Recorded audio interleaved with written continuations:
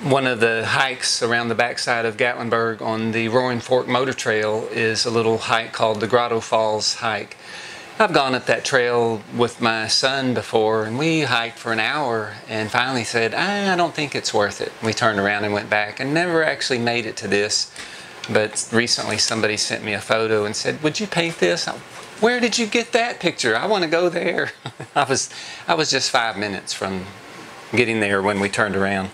So the next time I go, I am going to uh, go all the way and find this little spot and get my own photographs. But this particular picture, I combined the works of four different photographers.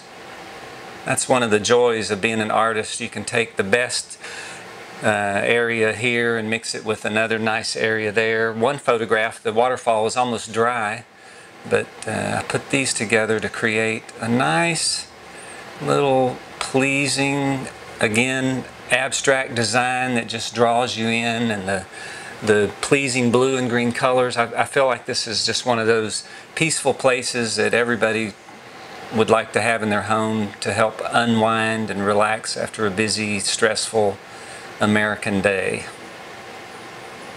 This is called Grotto Falls I'm going to end up putting a couple of little baby bears here kind of silhouetted up against the waterfall there. It was this mama bear watching over them.